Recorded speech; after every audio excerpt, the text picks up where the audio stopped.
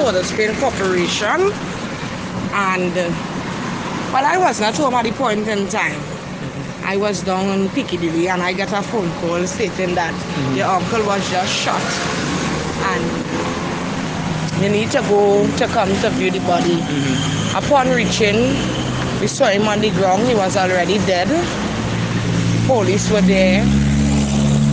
He tried saving a child. He lost his life. He died as a hero. He lost his life trying to save a child. You understand? The child ran out same time and he ran behind the child and that was it. So I can't say.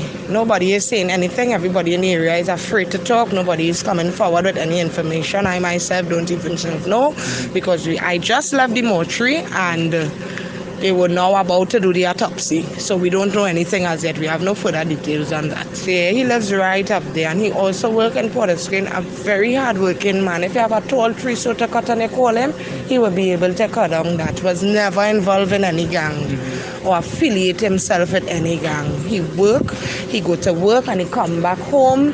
He might take a late chill on the block, pass by his family. And if he if we have rubbish to throw he will throw that. He was a good one. I can't say anything bad about him.